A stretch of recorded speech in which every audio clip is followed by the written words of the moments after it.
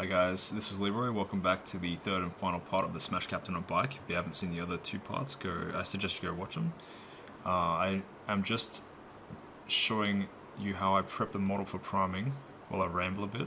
This video took a lot longer to make than what I originally thought it was gonna, and I just wasn't feeling it.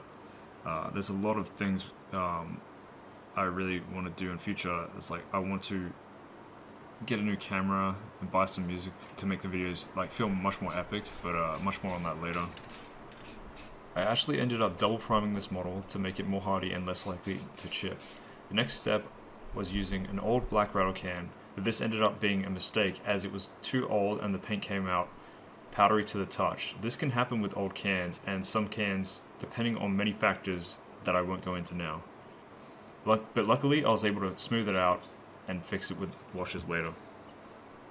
I gently scored and drilled out the gun barrels. This piece ended up being more of a competition piece, so I decided to put a lot more detail into it, although in hindsight I should probably get in the habit of drilling out the barrels for my marines in future, for all of my models anyway.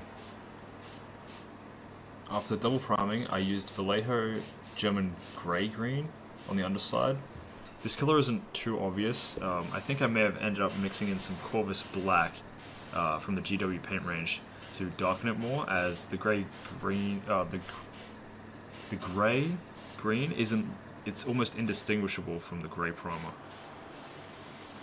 Next up with the airbrush was a build-up of two paints, uh, the Vallejo medium olive green and then the next layer was a mix of the same medium olive and moot green in about a 50-50 mix. You can also see my Invictus suit in the spray booth at the same time, so getting two highly detailed models undercoated at the same time helps speed things up later. Because I messed up earlier with the powdery undercoat, I used a lot more ca um, but this ended up looking better than expected and really darkened up the underside of the model where most of the grey green was. I used a lot of Chemitrade to fix up the whole thing, including the shield and backpack, uh, on all of the cracks where the edge highlighting would go next to it later. I put about twice as much Chemitrade on those cracks and recesses. Once I had fixed up most of the powdery coat before with all the washes, I moved on to painting all the metal with Leadbelcher. This was particularly tricky as I kind of messed up the sub-assembly and the side panels on the uh, the new Outrider bikes, if you try to dry fit them, they'll actually get stuck and if you try and pull them apart, they'll end up almost breaking, so it wasn't worth pulling it apart. So I ended up just leaving that together and not doing a sub-assembly. It would have helped to build a regular Outrider first, but I was just too keen to make a character. Oh well, live and learn I guess. The rims and exhaust were a pain to get painted without that sub-assembly. Not to mention the Marine's waistline, belts, and pouches are harder to paint and assemble because of the way the model fits into the legs and the legs are attached to the side panels. Just something to remember if you're assembling this model yourself or any one of the Outriders. I base coated the skeleton body on the front of the bike, the parchment I sculpted onto the shield, and all of the leather with Wraithbone.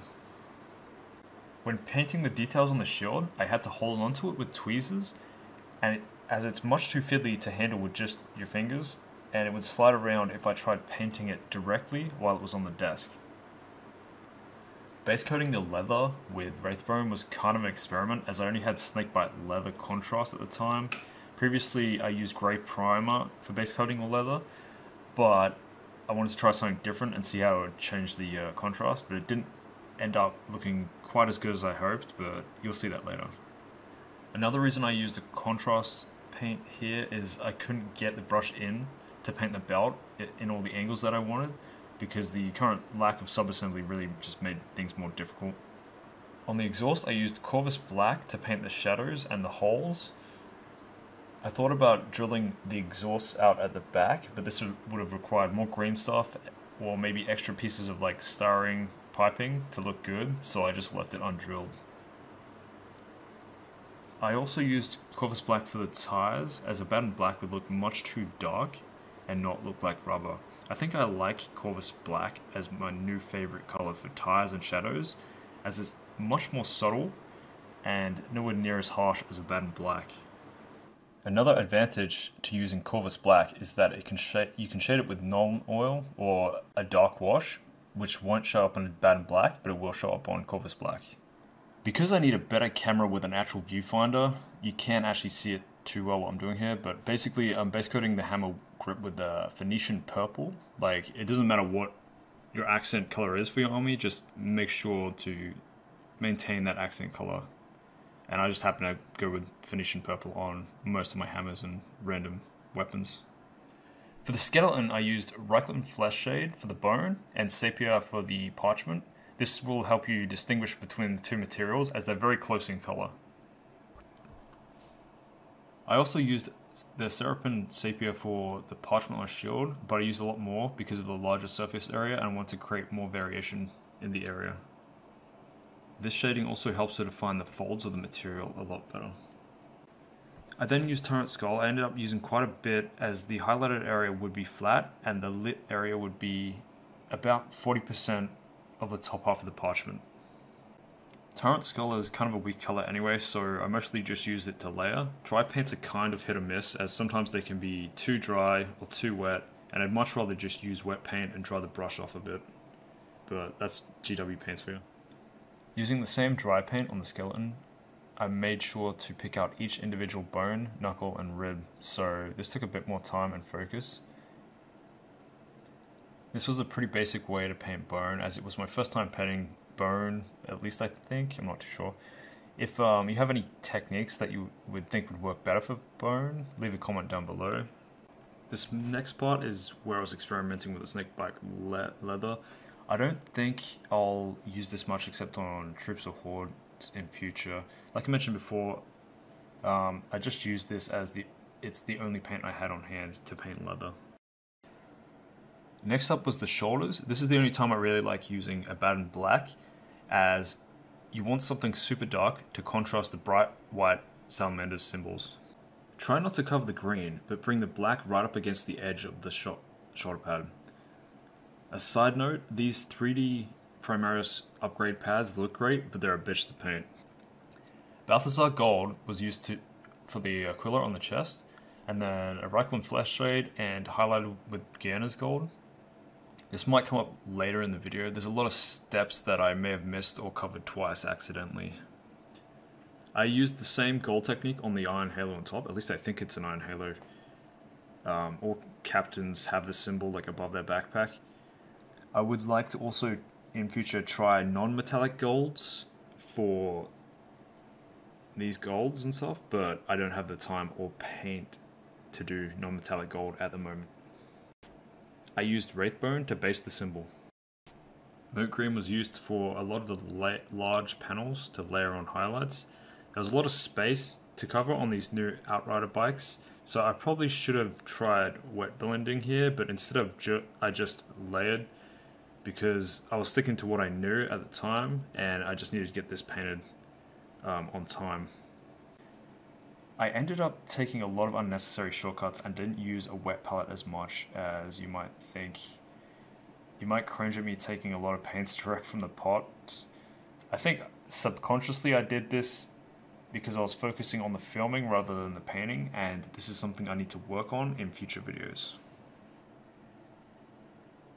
The moot green on the paneling took a lot of time to do. Some panels were 70% of the panel in the moot green for the top panels, for example, whereas the bottom panels might have only been about 40%. This is a skill that takes a lot of time to practice and get right, and I really only have an intermediate level skill level in this, but it's something that I would try wet blending on in future. Only after filming myself painting do I really see where my biggest pitfalls lie, and even this skill level can help others in where they may be falling short as well. I base coated the rocky areas with Mournfang Brown. This color may seem too bright at first, but I can really darken up later with the washes anyway. I used Earthshade and Reikland. I didn't show that in this video because this video is getting a bit too long and I wanted to save that for another video. Not only that, this video was getting far too long for my old PC to handle, which is what I use for editing. Maybe it's the program. It just likes to crash if anything goes longer than 12 minutes for some weird reason. It's not even that bad of a PC. I think the GPU is just fried from ranking classic WoW for 16 hours a day. Just another reason to quit WoW, and I started paint, making painting videos. Anyway, here you see me adding Badlands texture paint around the edge of the base. I didn't show much more of the base in this video, but I just put this in just to show the basics. Because it's a thick paste like paint, I had to use the green stuff sculpting tool and a wet brush to push it off of the tool and push it around the uh, the base to get it to really stick. Also think I used three texture paints, the dunes, the badlands, and uh, the dust, oh, Armageddon dust that is. Onto the fun part, and by fun I mean the hardest part of the model, painting the faces. For the fleshless salamanders, you have to use a really dark grey because in the lore they live on a volcano planet and have mutated to survive on this planet. I don't know what the exact lore is, but it's like they probably have like some minerals and stuff incorporated into their skin. So for this I use a Black Templar's contrast paint. I find this is the easiest way and this is probably one of the better contrast paints in my opinion. Then use a very light Enchant Grey highlight on the skin. Um, I don't think I showed this in the video. Then moving on to the green panels on the backs of the head and neck. I used the same medium olive that I used for the rest of the bike and armor. Um, also, Warpstone Green is pretty much the same um, as this color. Highlighting with Moot Green, taking extra care not to get it on the skin, as this will be extremely hard to fix Using the sharp tip of the brush, I paint the mechanical eye with Averland Sunset as a base coat. It's pretty much the main part of the paint job where you just have to paint the eyes over and over again to till you get it right and concentrate super hard. If it's just troops, I tend to just go for it and not worry about it and fix them up later if I have to. I only had Wild, Wild Rider Red on hand to paint the regular unhelmeted eye. Yeah, these guys have red eyes as well as dark gray skin. They're pretty much Sith. If uh, I wanted to go hardcore painting these eyes, I'd probably start with a Khorne Red and more add more colors. But I might need a fancy one of those Artificer brushes for that, and that's like $80 that I don't have for one paintbrush at the moment. I then added random highlights to spots that might need fixing up that I might have missed earlier. Clipping the head off the wire, leaving about 1 to 2 millimeters of wire, and then grab them with the tweezers so it makes them easier to grip when placing it inside the model. After dry fitting, the wire didn't fit, so I drilled out the hole slightly wider with my hand drill. It was pretty stiff because of the green stuff that I packed into it earlier, but eventually I dug through it. Lastly, I added a bit of super glue and the way it slotted into place was probably the most satisfying part of this build. There was a bunch more details that I added after filming this because I was going to submit this to as a competition piece for a small competition near me. I probably won't win, but it's at least worth giving it a try. This video took me much longer than I had originally anticipated and I expect I'll have to try much different editing styles in future. So if you like what you see, don't forget to subscribe and hit the bell icon. Additionally, I also stream almost weekly mostly on Saturdays and Sundays over on my Twitch page of the same name. Um, not just 40k stuff, but also art and other games. Uh, lastly, for more photos and close ups of the finished captain, you can head on over to my Instagram or DeviantArt pages. I'll have them posted up soon. And thanks for watching. I'll see you all next time.